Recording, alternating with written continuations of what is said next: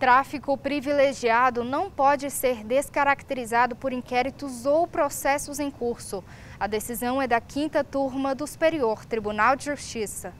O colegiado de direito penal do Superior Tribunal de Justiça decidiu que a aplicação da causa de diminuição de pena pelo tráfico privilegiado, prevista na lei de drogas, não pode ser afastada com fundamento em investigações ou processos criminais em andamento. O caso chegou ao STJ após as instâncias ordinárias não reconhecerem a causa redutora de pena do tráfico privilegiado, porque o réu também responde a um processo por roubo, o que revelaria a habitualidade delitiva. A quinta turma do STJ, por unanimidade, não conheceu do habeas corpus, mas concedeu a ordem de ofício para reduzir a pena do condenado por tráfico de drogas de cinco anos de reclusão em regime fechado para um ano e oito meses no regime aberto e substituíram a pena privativa de liberdade por restritivas de direito a serem definidas pelo juízo de execução.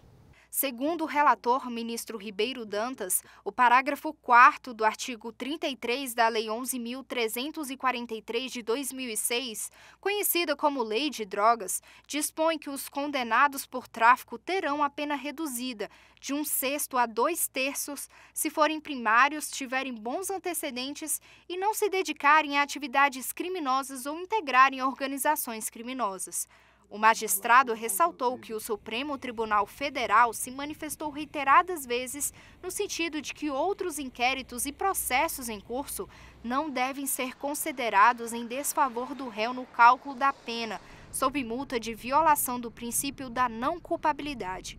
A partir dessa posição, o STF vem decidindo ser inadmissível a utilização de ação penal em curso para afastar a causa de diminuição do artigo 33 da Lei de Drogas. Por verificar a primariedade do réu e os demais requisitos da Lei de Drogas, a turma diminuiu a pena do acusado em dois terços e aplicou a substituição por penas restritivas de direito.